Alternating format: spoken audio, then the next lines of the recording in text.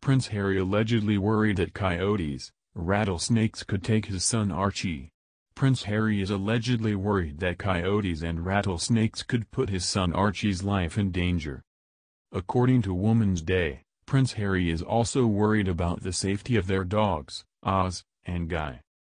There are signs everywhere warning about coyotes. Harry didn't know things were so wild in L.A.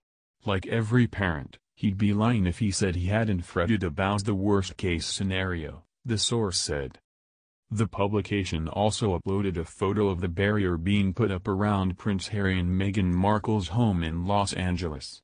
The royal couple is currently staying at Tyler Perry's $18 million mansion in Beverly Hills. Other celebrities that have reportedly been affected by the rattlesnakes and the coyotes include Demi Lovato, Jessica Simpson, and LeAnn Rimes.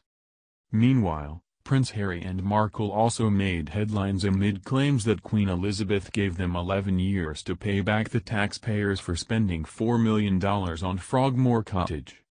A source told the tabloid that the Queen also asked the Duke and Duchess of Sussex to pay market rent on the cottage, which will allow them to use it as their home in the United Kingdom.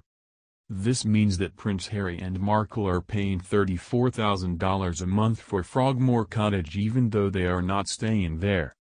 In related news, there are also claims that Twilight fans are upset with the upcoming release of Prince Harry and Markle's book, Finding Freedom. Harry and Meghan and the Making of a Modern Royal Family is slated for release on August 11. However, Omid Scobie and Carolyn Durand's book will be released around the same time that Stephenie Meyer's Midnight Sun is also released. The latter is a follow-up to the Twilight series. A source said that Prince Harry and Markle should be worried because the Twilight franchise has such a huge following. Markle also made headlines this week amid claims that Kate Middleton felt exhausted after the Sussexes' Megxit. A source told Tatler that the Duchess of Cambridge is furious with the additional workload because it meant less time with her kids. The insider also accused Prince Harry and Markle of being selfish. After all, they left the royal family at a time when their help was very much needed.